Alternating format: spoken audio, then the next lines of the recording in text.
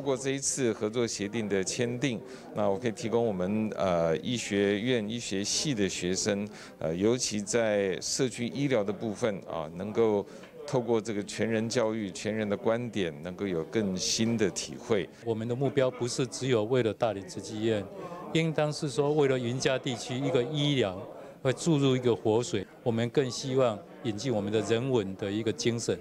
让我们的下一代的学生、下一代的医师在这云嘉地区能做更深的传承。